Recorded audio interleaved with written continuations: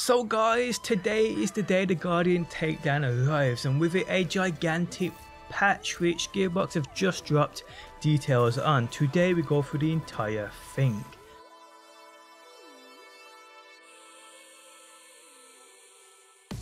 How's it going guys, my name's DPJ and today I bring you another BL3 video. If you do enjoy it, leaving a like really helps out and subscribe if you do want to see more. So let's get straight into the patch notes guys. Today we will release an update for Borderlands 3 which will go live or be live on all platforms by 12pm PST. This update adds the new takedown, the takedown at the Guardian Breach, addresses the first phase of changes to Mayhem 2.0 and addresses some player reported concerns. The seasonal event Revenge of the Cartels officially ends today at 9am PST. We hope everyone enjoyed the experience, the music and the gear. With today's patch and hotfixes, players will no longer be able to travel to the villa until next year. So people, it's coming back next year, that's a confirmation. For those worried about the availability of the awesome anointments that dropped as part of this event, those are here to stay, which I've covered in the past. Make sure that you have your hotfixes applied to ensure that they are a part of the pool of potential dropped anointments. To apply hotfixes, wait the main menu until you see a sign that says hotfixes applied as you know people. So getting into the actual details of the patch and the patch notes. New content. Added support for new free content being added to the base game of Borderlands 3 Takedown at the Guardian Breach. Fight for your life improvements added cooperative reviving. When more than one person is reviving a down player, the player will be revived faster. This is only supported for cooperative players. Slowed the movement speed of down players who are actively being revived by a cooperative player. Increased the interactive radius around down players to make it easier to start reviving them. Added visual effects to the downed player being revived and the player reviving the downed player to help visualize the act of reviving added support to show mayhem levels on item cards. Now this is a big one people. This basically shows the level of the weapon, say if you have a Kaoson, you had it drop in Mayhem 10, you don't know if it's a Mayhem 10 weapon, this will confirm that by adding uh, details on the weapons item card, stating if it's a Mayhem 10, 9, 8, 7, 6, 5, 4, 3, 2, 1. Okay, stability addressed a reported concern where some players could experience a crash after being kicked three times in a row from a host game. Addressed a reported concern of a crash that could sometimes occur after a client respawns in the mission Angels and Speed Demons in Conrad's Hold. Addressed a reported concern of a crash that could sometimes occur when engaging with enemies with the wedding invitation with the Galaxy Brain Mayhem modifier active addressed a reported concern of a crash that could sometimes occur when the horse entered combat at the beginning of the fourth round in the Cistern of Slaughter. Addressed several reported crashes, optimizations, improved performance when navigating vending machines, UI optimizations for consoles, improved inventory performance, improved quick menu performance, improved main menu performance, improved item inspection performance, improved body widget performance, improved modal tutorial performance, improved memory by removing unnecessary frames from the skill tree menus, improve performance when dragging and dropping items in their inventory menu. Addressed a reported concern that players could sometimes experience a noticeable frame rate drop when navigating the character menu in split screen. Addressed a reported concern that performance would sometimes drop after picking up the echo log during the demon in the dark in Conrad's Hold, and improved HUD performance.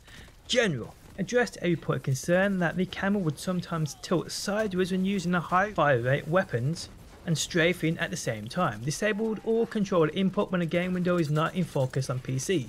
Disabled access to the quick menu when players are in vehicles or turrets. Addressed a point concern that an outrunner can sometimes be launched into the air and out of playable space when a user enters the vehicle in Meridian Metroplex. Addressed a report concern that the bodies of dead enemies would sometimes stretch when inside the elevator in Conrad's hold addressed report concern that the host player can escape the map when crouching in the doorway of a client's room when they leave their session in Sanctuary. Addressed a reported concern that hitting an out of bounds area with a vehicle trigger fight for your life.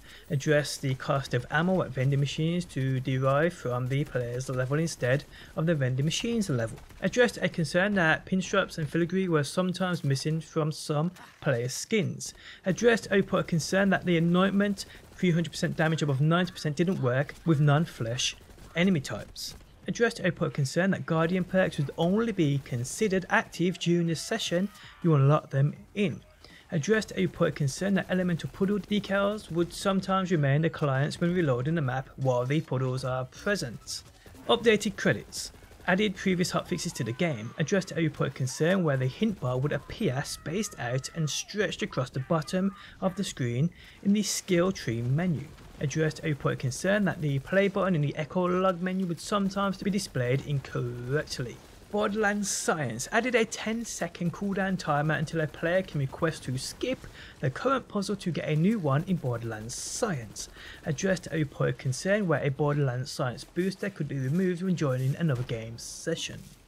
Character addressed a reported concern that the operative's action skill anointed effects can be affected by other action skills when activating two action skills at the same time. The Echocast added an in-world marker to improve discoverability of Moxtail's chest in-game, addressed a reported concern in Echocast where the Moxxtail buff was lost when joining another game session, addressed a reported concern with Echocast where the red chest win account stat was incorrect. Effects. Address a report concern where smoke or steam would flicker in Sanctuary after extended gameplay. Okay, so onto Mayhem 2.0. Rebalance Mayhem stats for enemy health, shields and armor in Mayhem levels 7, 8, 9 and 10. Mayhem level 7, 8, 9 and 10 had their stat bonuses to health, shield and armor reduced. On Mayhem 10 the bonus is now 10,000% instead of 12,500% and the curve from level 7 to 10 has been adjusted accordingly. Made a change so only the host player can roll or apply modifier changes to Mayhem. Addressed a report concern that Agonizer 9000, the Kraken, Wotan and Ista were sometimes not spawning Mayhem level gear. While we wait for chests and vending machines to support Mayhem level gear in the next patch, as stated in our Mayhem 2.0 dev update, these enemies were fixed so they support Mayhem as a stopgap. The Mayhem modifiers Mob, Mentality and Chain Gang can no longer be rolled together. The Mayhem modifier floor is lava now fires off less frequently and the damage taken no longer counts towards keeping the player in combat. The Mayhem modifier Chain Gang now creates beams when the player is closer and dissipates when further away, allowing them to fire less frequently. Optimized combat timer refresh for Mayhem. The four changes above were made to keep Mayhem 2.0 running smoothly, and we will continue to monitor the performance of Mayhem 2.0 and make adjustments in the future. The buddy system and the drone range of Mayhem modifiers are continuing to go through testing and are not going to be turned back on at this time addressed a report of concern that players would sometimes not load in correctly after throwing grenades and making changes to Mayhem mode. Addressed a report of concern that the travel countdown timer would sometimes not display the map name when applying Mayhem modifier changes after the player activated a new U station that was not a fast travel station. Addressed a report of concern that the numerical indicator on the Mayhem pedestal would not display properly after adjusting the level addressed a report concern that the UI for the boundary turret warning would remain on screen when changing Mayhem settings while in a restricted area. Addressed a report of concern that the enemy death from the post-mortem Mayhem modifier was unable to cause damage to Moze's Auto Bear or to players in Iron Bear's gunner seat. Addressed a report concern that the enemy death from the post-mortem Mayhem modifier would circle in place if spawned from a enemy that the player did not take down added a limit to the number of visual impact effects spawned when projectiles take damage with post-mortem and freeze tag mayhem modifiers. Post-mortem, Healy, Avenger and freeze tag will now check for the dying enemy's allegiance relative to the player when deciding if they should spawn addressed a reported concern that players could be briefly put into fight for your life when the Mayhem modifier rogue light is active. Addressed a reported concern that beams spawned from the boundary issues Mayhem modifier could sometimes become visually attached to the player. Addressed a reported concern that beams spawned from the boundary issues Mayhem modifier could sometimes stay attached to the player after defeating an enemy NPC turned friendly addressed a concern that a beam effect would sometimes not trigger the boundary issues mayhem modifier if there was an obstruction between the player and the enemy. Addressed a reported concern that some heads were sometimes not scaling properly with the Galaxy Brain Mayhem modifier active. Addressed a concern that Mayhem modifier abilities would occasionally not run properly on enemies addressed reported concern with weapon drops from enemies downed via critical hit, while the loot explosion mayhem modifier was active sometimes not always matching the current mayhem level. Vehicles can now be the targets of Mayhem modifiers. So that is that people and those were all the changes to Mayhem 2.0 and quite a lot there. Onto UI. Addressed a of concern where D-pad glyphs to change the tracked mission were still displayed on the HUD when playing with the classic button scheme. Addressed a of concern where an empty prompt would be displayed on the HUD above the experience bar after spending skill points. Addressed a of concern that multiple message slide-outs would appear and overlap after disconnecting a controller addressed a report of concern where the speed of the UI menu would vary when adding a split screen player addressed a report concern where the client's countdown would not appear on the screen after accepting a duel invitation, added improvements to text chat, updated hint text for changing the viewed event to change viewed event, addressed report concern that parts of the HUD would sometimes be missing when quickly pausing and resuming the game.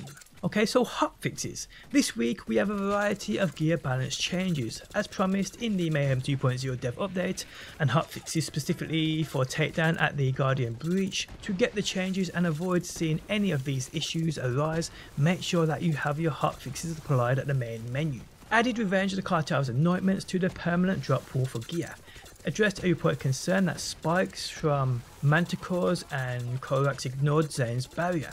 Rebalanced the number of enemies active at one time during a takedown at the Guardian Breach. Rebalanced the health of some enemies during a takedown at the Guardian Breach. Addressed a potential progression blocker when fast travelling during takedown at the Guardian Breach. Addressed a concern with the operator's sentinel not targeting enemies in some cases. Okay, so weapon adjustments people, and there's quite a lot to go through here for sure. As stated in the patch notes, we have adjusted the health, shield and armor stats for mayhem levels 7 and higher. As part of that change, we need to adjust gear to reflect that. With the decrease in enemy health, shield and armor in later levels of mayhem, all gear you have currently will feel more effective as you take down enemies in those higher levels. SMGs have proven to be one of the most popular weapon types, so we focused on them with this update. We've decided that this amount of change was all we were comfortable with when paired with the scaling changes. We will observe player feedback over the coming weeks and likely make further adjustments as needed. Weapon buffs. The number of viable SMGs felt low compared to the relative depth of weapons of that type. As a result, several of them have had damage increases this week. Increase weapon damage on Bitch. Increase weapon damage on Handsome Jackhammer increased weapon damage on the Devoted, increased weapon damage on the Cloud Kill, increased weapon damage on the Tsunami, increased weapon damage on the 10 Gallon, and increased melee damage bonus for Ripper. The Ripper's melee damage bonus wasn't providing enough incentive to execute its intended loop. We've buffed damage on the melee strike. Increased weapon damage on Vanquisher. The base damage for the Vanquisher and its bonus damage while sliding have been buffed. Like the Ripper, its core loop wasn't being used as the slide bonus wasn't significant enough prior to this change. Increased damage bonus while sliding on Vanquisher. The Ripper and Vanquisher should be effective now when embracing their unique loops. Weapon nerfs. We found that a few pieces of gear were overperforming or not working as intended which unintentionally pushed players into builds exclusively using them. It also allowed players to bypass the intended growth of moving up the mayhem levels over time. By lowering these values and addressing some data, players should feel able to experiment with other pieces of gear. The Sandhawk. The Sandhawk was creating too many particle systems, which we found creating issues related to performance. It also was creating too much damage relative to other sniper rifles. To combat this, we've made the following changes. Increased shot costs from 2 to 3. We've increased the cost of firing a weapon so that players have to more thoughtfully manage ammo. With the additional SDUs that were added in the Revenge of the Cartels patch, players should still be able to use this weapon quite a bit. Remove two projectiles. As stated, the performance cost of this weapon was too high, so we've removed two particle systems from each shot. This also removes some damage output from the weapon. Increased weapon accuracy spread. To make up for the difference for the missing projectiles, we've spread out the pattern so it still covers the same space. Lowered lifetime of projectiles. Too many active particle systems from consecutive shots was really hurting performance so we've lowered the lifespan of the projectile. Increased projectile speed. It was important to use to keep the weapon still effective in combat, so to counter the lowered lifetime of the projectiles, we've sped them up. The result is a weapon that still feels as effective as before and even more responsive. Okay, so on to the Yellowcake, which we all know a nerf was coming. We've discovered an unfortunate issue with the Yellowcake that effectively added an extra 100% damage beyond its intended output. We're fixing it today. Change damage scaling. The wrong scaling math was applying to the Yellowcake, greatly increasing its damage beyond its intended value. We are changing it to its intended math. Split projectile damage decrease. We are lowering the damage of each of its split projectiles as they were overperforming as well. Wow! Can't wait to try that out now. The Kaoson. The Kaoson was providing more power than intended which made it the go-to SMG.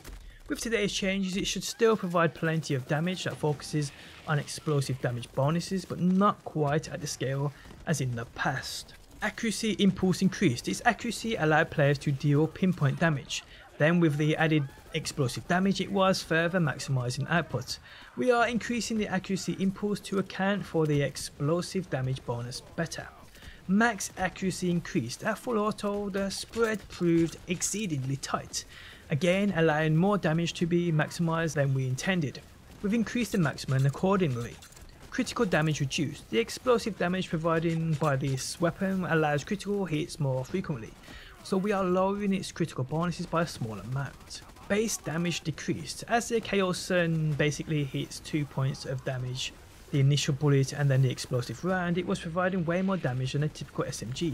We're lowering its base damage to better account for its dual damage feature. So wow, my favourite SMG people, seems to have been nerfed. This again I will try out and let you know my opinion on it. Anointment buffs. Several anointments in the game were not providing enough value, effectively making them non-viable for players. In an effort to increase build diversity, we are buffing a number of anointments. Airborne anointments. We've increased the effectiveness of the while airborne damage, critical damage and fire rate anointments. The airborne fire rate anointment had a bug as well, which is being fixed to substantially improve this anointment. We're anxious to see what builds will be used in Takedown at the Guardian Breach in particular. Slide fire rate. It had a bug as well that prevented it from providing the intended bonus. We've resolved that in these hotfixes. Action skill end. A number of these types of anointments have been buffed to make them more useful for more builds. Fire rate next to mag bonus damage and splash damage have all received damage increases. And finally people, auto bear active incendiary damage. This has received a significant buff to make Iron Bear builds more effective. And wow, what a patch. So yes, all this and all of what I have covered, the changes to the game, the hot fixes, the weapon buffs, nerfs and so much more will be applied later today, which today's date is the 11th of June 2020.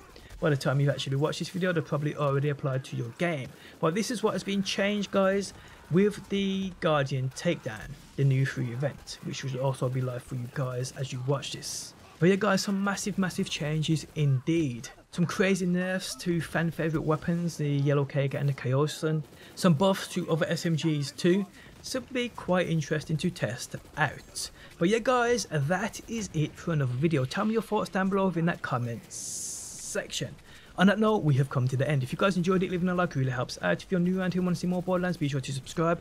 And if you never want to miss a video upload, you can turn notifications on by hitting that bell button. But guys, thanks as always for stopping by. Hopefully you enjoyed the video and hopefully I'll see you on that next one.